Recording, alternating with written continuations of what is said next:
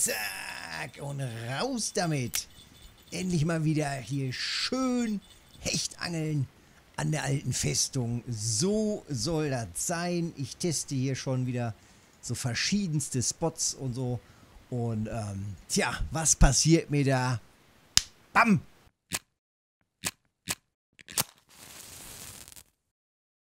Da rasselt mir doch tatsächlich gerade hier in der Nacht oder in den frühen Morgenstunden schon bald einen Aal rein, Alter.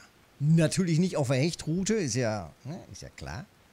Aber schön auf den beiden Grundrouten, beziehungsweise in der Nacht hatte ich äh, drei Grundrouten draußen. Und zack, habe ich da auf einmal einen schönen Aal dran. Ähm, und direkt hinterher noch einen. Gucken wir mal eben rein. Hier sind sie. Genau, ich habe jetzt schon verschiedenste Stellen irgendwie abgeklappert. Und jetzt gerade eben hier ballern mir hier zwei Aale rein. 2,9 Kilo, 1,3 Kilo. Und ähm, ja, lübt, würde ich sagen. Und äh, der Gollum auch direkt hier hingereist. Zack, erstmal Tau äh, Fischfetzen reingeschmissen. Und äh, zieht hier auch erstmal 3,8er Aal rein. Richtig gut, ey. Hier bimmelt es gerade auch schon wieder. Im Moment hier am Tag eher so ein bisschen was Entspanntes. Allerdings ging auf, äh, auf den Tauwurm gerade auch schon der äh, Schuppenkarpf mit 8 Kilo. Ist auch gerade hier reingeballert. Also, es geht hier ein bisschen was an der Stelle. Kann natürlich auch mitunter daran liegen, dass es jetzt gerade hier dieses wunderbare Regenwetter ist. Ähm, ich teste jetzt gerade noch mal ein paar Topwater-Köder hier auf Hecht. Ich hatte gerade schon ein bisschen durchgejirkt und alles. Und bin jetzt gerade dabei, bei den selbstgemachten Topwatern. Hat auch gerade schon wieder eine Begegnung der, der ganz anderen Art. 1,9 Kilo. 1,9 Kilo. Hoppala. 1,9 Kilo Hecht. Kilo weniger als der. Und die Action Bar komplett am Eskalieren, Alter. Ähm, ja. Da waren einfach noch die schlechten Haken dran. So kann das dann natürlich gehen, ne? Aber bisher, der gelbe hier von den Topwatern, von den selbstgemachten, sieht schon ganz gut aus, macht schon einen ganz guten Eindruck. Ist natürlich jetzt relativ klein, ne? Relativ kleines Gerät. Gucken wir mal bei den anderen Walkern. Ähm, nehmen wir mal den roten, schön aggressiv. Mal gucken, ob da was geht. Einfach mal so ein bisschen durchzuppeln. Wenn man Topwater noch nicht kann, Funky Minnow soll auch funktionieren. Oder funktioniert auch, hatte ich ein bisschen rumprobiert. Funky Minnow, bei den Funky Minnows immer darauf achten, dass ihr die F-Serie nehmt.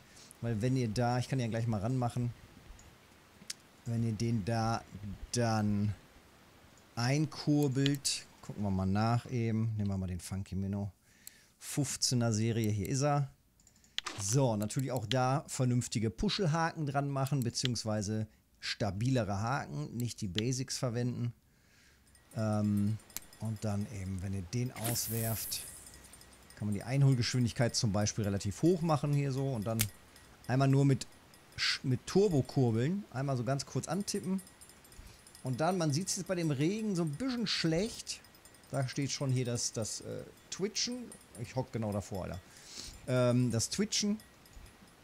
Und dann, machen wir mal so.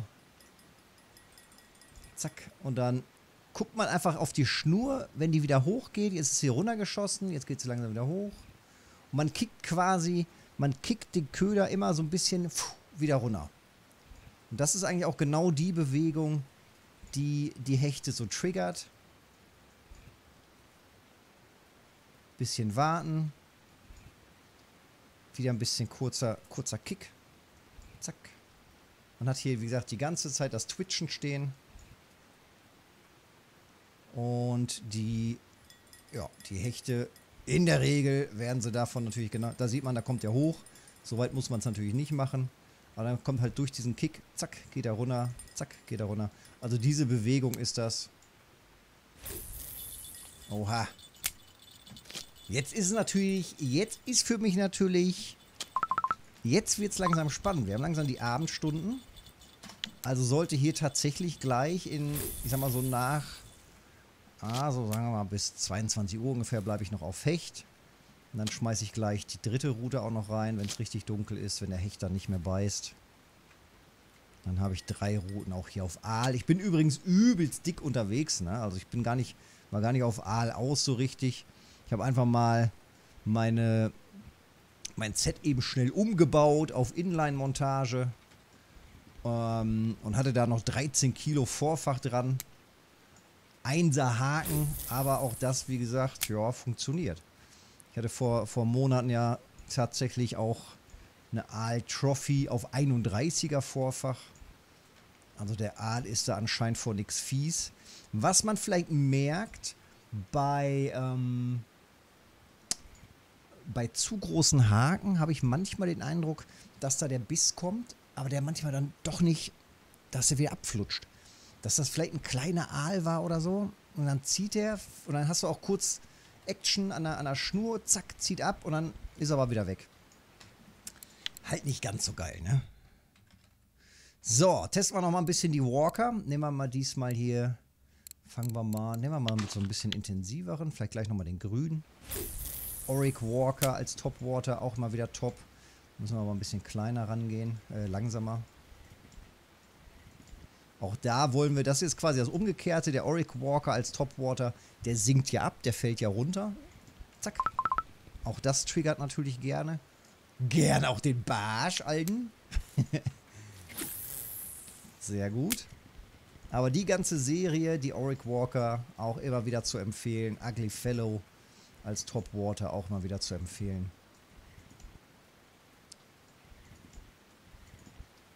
Und immer wieder schön absinken lassen. Und das ist halt das Schöne, ich finde halt gerade beim, beim Topwater-Angeln, das ist halt so ein bisschen entspannt. Man muss es nicht so hundertprozentig machen. Man kann da so ein bisschen, so ein bisschen wild hin und her werfen. Und in der Regel mache ich halt so zwei, drei Würfe, teste was. Im Idealfall hat man eben relativ schnell, relativ schnell einen Biss.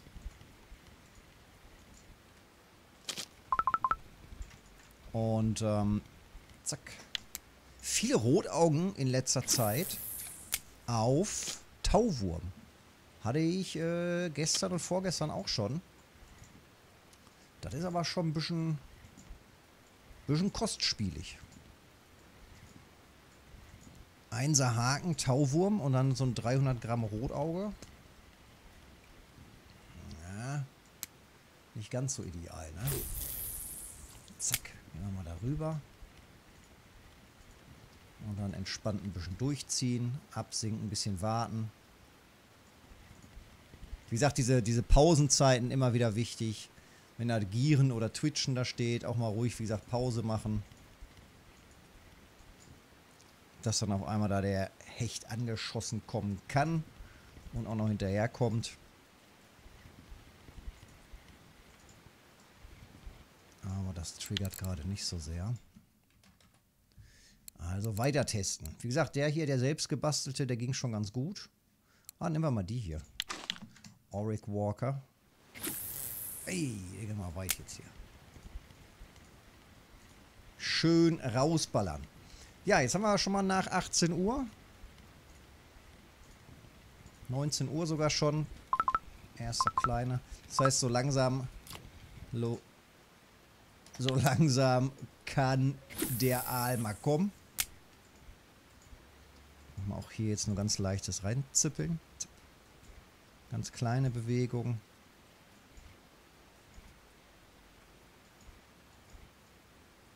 Und dann immer wieder warten.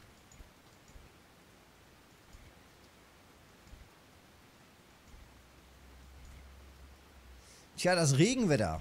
Das Regenwetter. Es gibt, ähm, es gibt viele, die sagen, ja, bei Regenwetter, da geht aber der Aal, ne? Dann hoffen wir doch mal, dass das Regenwetter noch ein bisschen bestehen bleibt heute. Ich würde ja noch ein paar Aale mitnehmen, ey. So zwei, drei Kilo Dinger. Das schmeckt doch schon. Na, soll ich schon greifen oder noch nicht? Ja, der zieht ab. Zack, anschlagen. Auch wieder fettes Rotauge. Ja, und wie gesagt, von der Reichweite, ich habe da einfach so mittig reingeballert. Also ich habe das gar nicht irgendwie jetzt... Ich habe das ja nicht geplant mit den Aalen. Ich habe das ja nicht geplant. Einfach reingeballert, hier vorne da so in die, in die Grütze und gut ist. Ich würde sagen, ich ziehe jetzt hier nochmal ein paar durch und dann gucken wir da gleich nochmal rein. So, jetzt haben wir schon langsam... Jetzt wird schon langsam richtig dunkel hier. Letzte Mal nochmal eben hier rausgeworfen. Gucken, ob da noch ein bisschen was geht. Gerade sogar einen kleinen Döbel hier drauf gehabt, Alter. Die selbstgemachten... Na komm, einer geht noch. Die selbstgemachten Topwater, ey. Abgefahren. Ah, oh, oh, oh, oh. Es bimmelt schon los. Ist das jetzt schon wieder? Ist schon wieder Saison? Nehmen wir mal direkt hier den nächsten. Zack. Und raus damit. Einmal hier mit dem fetten Fischklumpen. So. Da nuckelt irgendwie was. Ich habe hier auf dem, auf dem Setup ähm, 15 Kilo Mono drauf. Ich könnte insgesamt eigentlich feiner dran gehen. Könnte ich eigentlich gleich mal machen, ey. Ich bin hier eigentlich viel zu, viel zu massiv unterwegs fürs Aalangeln. Klassisch ist ja 7,7er Vorfach, ähm, Vierer Haken bis einer Haken, würde ich sagen. Ähm, ja, also nicht ganz so massiv dran gehen. Der Aal ist ja jetzt auch kein, kein Monster. Von daher kann man da ruhig deutlich feiner dran gehen, um vielleicht da nochmal eine etwas höhere Chance zu haben. Ähm, ja, aber wie gesagt, bisher erschreckenderweise regelrecht. Ähm, die ersten Aale sind auch so reingerasselt. Alter, und da geht er rein, ey. Ich bin hier gerade noch schön am Tippen. Was haben wir denn da, ey? Oh, oh, oh, oh. Oh, oh, oh, oh. Das ist aber agil. Ist das auch Aalgil? Nee.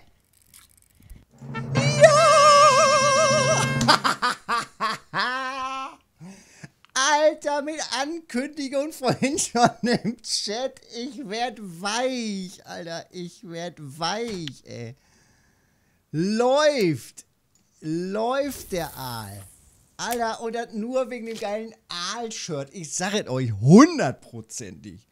Alter, ohne Aal-Shirt, ne? Link unten unterm Video. Direkt auf Amazon. Ich habe das erstmal neu reingestellt, alles aktualisiert hundertprozentig Aal-Trophy, Alter. Plus 5 auf Aal-Trophy, ey. Easy. Und da wird schon gefeixt hier, Alter. Im Chat. ja, läuft, ihr Lieben. Ey. So muss das doch sein. So soll das doch sein. Ist das nicht schön? Beim Hechtangeln vor Langeweile einfach mal zack auf Aal. Ey. Richtig schön, ey. Vorhin schreibt er vorhin noch im Chat. Und zum Mittag gibt es dann die Aal-Trophy. Ich gucke gerade auf die Uhr, wir haben 12 Uhr. Aal-Trophy. Abgefahren. Kann weitergehen. Oh, oh, oh, oh, oh, oh. Das passiert halt, ne? Aal-Trophy gefangen. Dann bimmelt's halt ab hier, ne? Und der nächste 1,486. Jawolski, Alter, da sag mir mal einer, da sag mir mal einer, wo findet man denn hier Aale? Es gibt, alter Post, es gibt, es gibt keine Aale mehr. Lüb doch. So muss das sein. So muss das sein. Ist natürlich immer ein bisschen Wartezeit zwischendrin, aber bisher sieht das doch schon ganz gut aus hier. Wunderbar. Gucken wir mal, was so der ganze Abend noch bringt. Vielleicht ballert ja noch einer rein. Ich meine. Super Trophial? Habe ich noch nicht. Oh, oh, oh, oh, oh. Oh, oh, oh. Und der ballert noch mal was rein. Oha. Kann natürlich auch immer ein Amur hier reinballern oder sowas. Ne? Ist ja auch gefährlich hier, die Stelle. Oder Ein Karpfen. Alter, nochmal ein schöner Schuppi hier. Sehr gut. Sehr gut. Der ging mal auch ganz gut raus jetzt hier, ne? Ratzfatz, ey. Wenn man überlegt, ich hatte ja mittlerweile, äh, oder in der Zwischenzeit hatte ich ja umgebaut, alles auf 9,8 Kilo. 9,8 Kilo Setup jetzt insgesamt. Es bimmelt und es bimmelt. Also, so langsam würde ich sagen, wird es ein bisschen ruhiger. Ich lasse die Routen allerdings immer noch drin auf Aal und zwar immer in der Regel so bis ungefähr 10 Uhr. Ähm, 10 Uhr, 11 Uhr vielleicht manchmal. Ähm, beziehungsweise hier in dem Fall, ich bin ja eigentlich auf Hecht aus probiere ich es natürlich gleich nochmal weiter. Das heißt, ich werde gleich den ähm, Fischfetzen rausnehmen. Das ist eh dann schwerpunktsmäßig eben nur entweder auf Quappe oder eben auf Aal äh, oder auf, auf Grundel. Und dann nehme ich den Fischfetzen raus, werde diese Route ersetzen durch die Hechtroute, schön weiter auf Hecht rumprobieren ähm, mit verschiedensten Ködern. Und dann bleiben natürlich links und rechts die beiden auf Tauwurm die bleiben noch weiter drin. Vielleicht gibt es ja nochmal so einen Nachmittagsaal oder so. Und äh, der hat dann irgendwie Bock. So, ich werde jetzt noch mal ein bisschen durchziehen. Dann gucken wir gleich mal auf die Uhrzeit, dass wir da so gegen 10, 11 Uhr hier raus sind. Und dann sehen wir uns gleich natürlich beim Verkaufen. Gucken wir mal rein in den Kescher.